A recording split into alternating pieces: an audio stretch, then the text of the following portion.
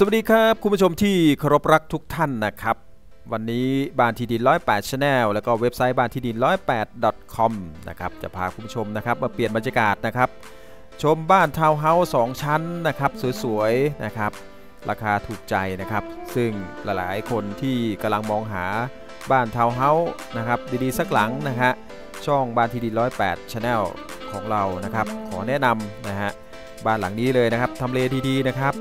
แล้วก็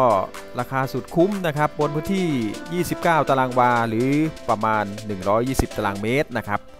สำหรับท่านที่กำลังมองหาบ้านดีเล็กหลังถ้าท่านที่กำลังเช่าอยู่ หรือกำลังหาบ้านที่จะให้คนเช่านะครับช่องของเราขอแนะนำเลยนะครับ บ้านหลังนี้อยู่ที่จังหวัดนครนายกนะครับอำเภอเมืองจังหวัดนครนายกนะครับมี 2 ชั้นนะครับโดยปกติแล้วทาวน์เฮาส์ก็จะมี 2 ห้องนอน 2 ห้องน้ำ1ห้องครัว 1 ห้องรับแขก แล้วก็ 1 ที่จอดรถ ประมาณนี้นะครับ แต่ของเรามีมากกว่านั้นนะฮะเดี๋ยวเรามาดูกันนะครับ สภาพแวดล้อมเป็นแบบไหนอย่างไรนะฮะบ้านของเรานะฮะซึ่งช่องเราคัดสรรมาให้คุณผู้ชมนะฮะก็บ้านหลังนี้นะครับนี่ฮะอยู่ในสภาพแวดล้อมที่ดีด้วยนะฮะจะให้คุณดู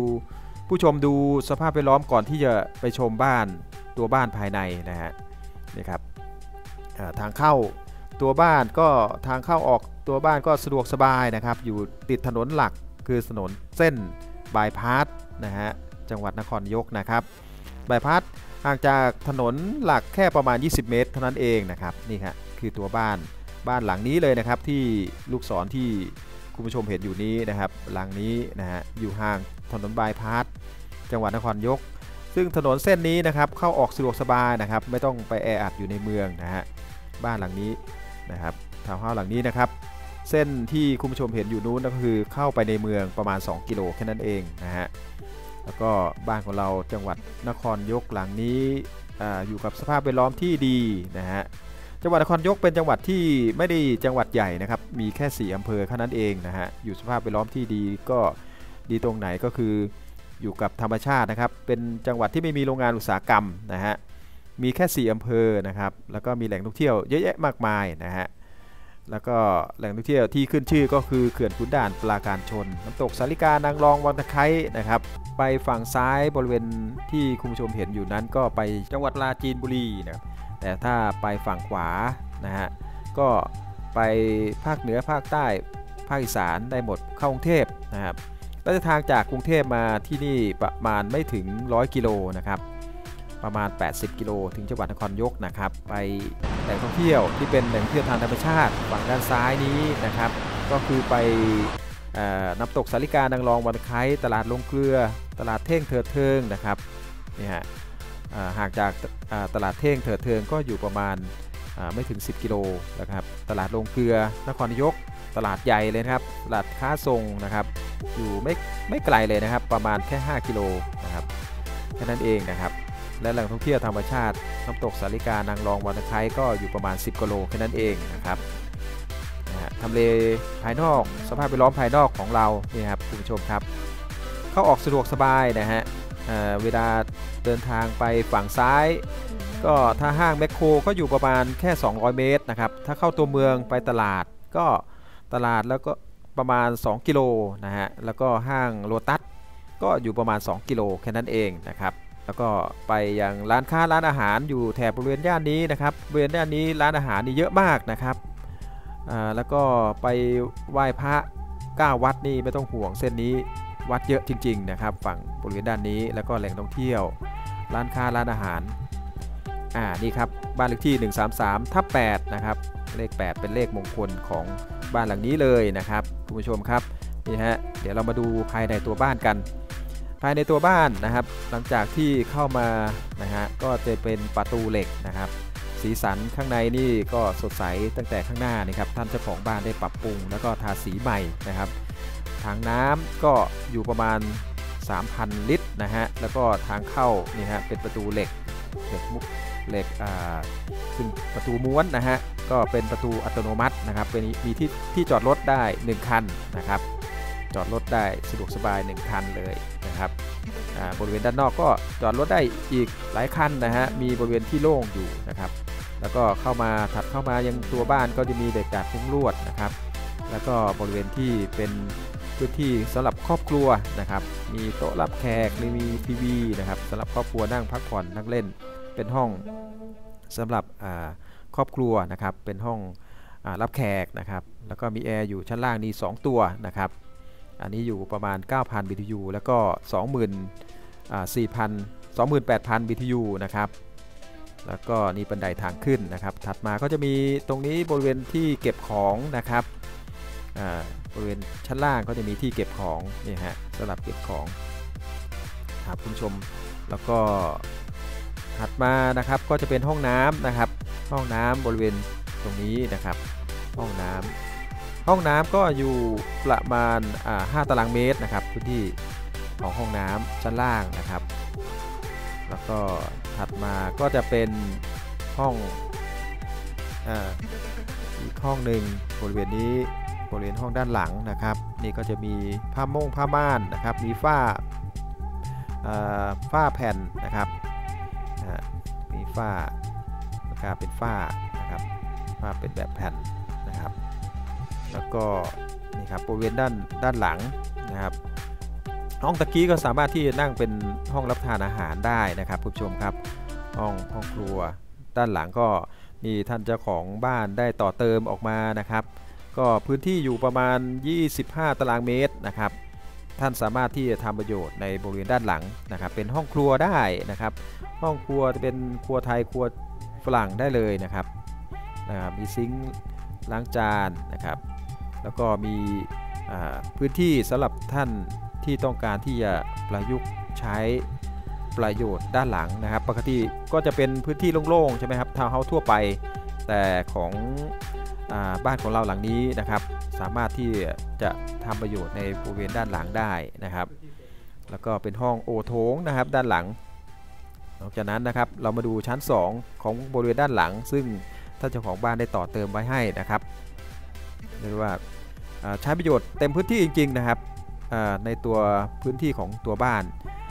120 ตารางเมตรนะครับ ก็ 29 ตารางวานะครับบริเวณด้านหลังนี้นะฮะก็ท่านเจ้าของบ้านก็ได้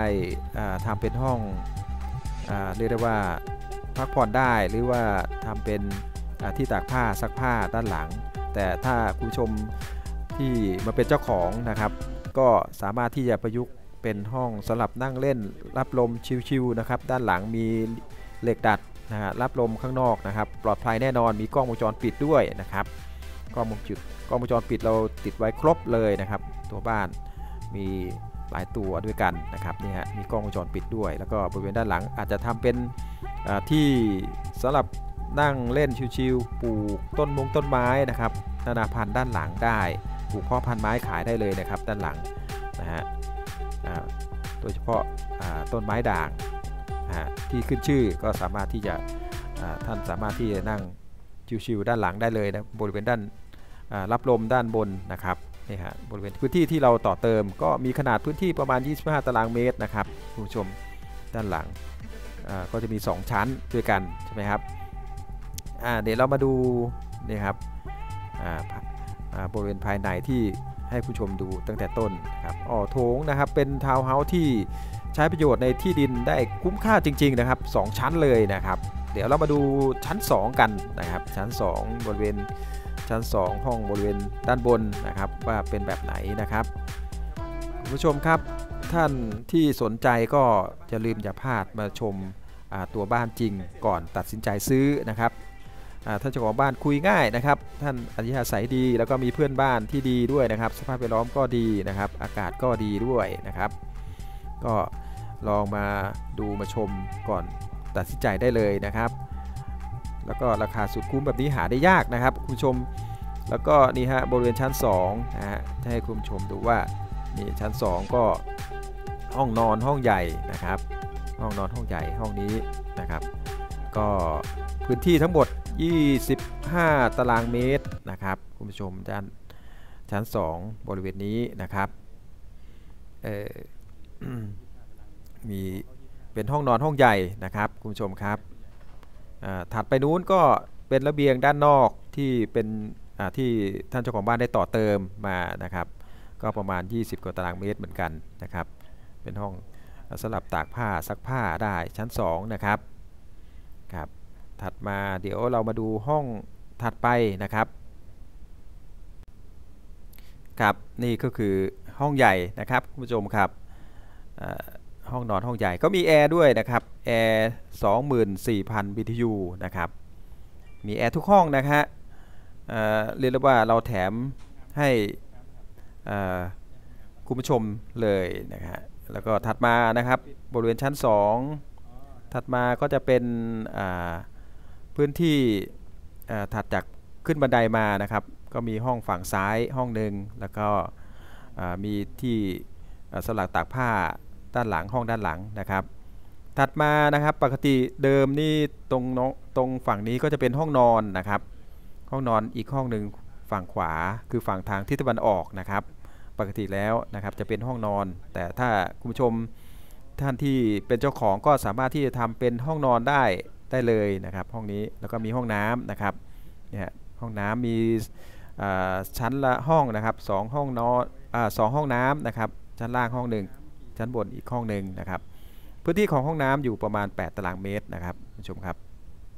นี่ฮะห้องน้ำชั้น2นะครับไว้ใช้สอยบริเวณชั้นบนนะครับ ห้องนอนถ้านับแล้วก็ห้องนอนก็จะเป็น 3 ห้องนอนนะครับประยุกต์ท่านเจ้าของบ้าน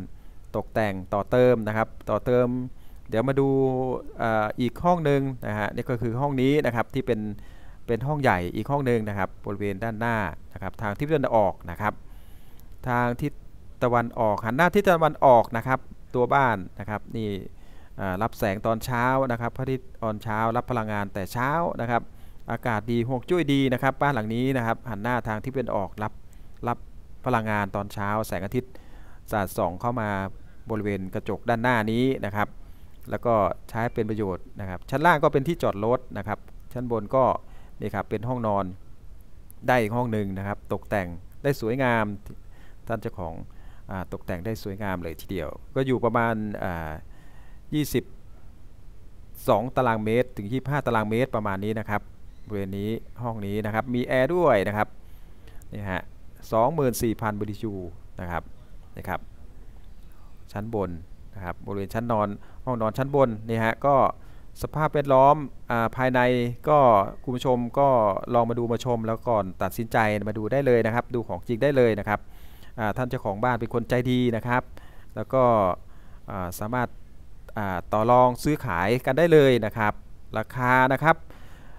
หลังนี้นะครับทำเลดีๆ แบบนี้หาได้ยากนี่ท่านเจ้าของบ้านบอก ก็บนพื้นที่ 29 ตารางวานะตีไป 30 ตารางวานะครับ29 ตารางเศษเศษนะครับ120 ตารางเมตรนะครับทำเลดีอยู่อำเภอเมืองจังหวัดนครนายกนะครับเดินทางไปไหนมาไหนสะดวกสบาย ก็ขอฝากไว้ด้วยแล้วกันนะครับ คุณผู้ชมหลังจากดูรีวิวแล้วนะครับ สนใจก็ติดต่อมาได้เลยนะครับ ที่หมายเลข 0883313003 แล้วก็ 096 282 9253 นะครับ สนใจอย่ารอช้านะครับ ราคานี้หาได้ยากนะครับ บ้านที่เป็นทาวน์เฮาส์2ชั้น แล้วก็ใช้เต็มพื้นที่แบบนี้นะครับ สนใจก็ติดต่อได้เลยตามหมายเลขที่ผมแจ้งไปนะครับ หรือคอมเมนต์ใต้คลิปได้เลยนะครับ ขอฝากด้วยแล้วกันนะครับ คุณผู้ชมครับสำหรับคลิปนี้ไว้เจอกันในคลิปต่อไป สวัสดีครับผม บ๊ายบายครับผม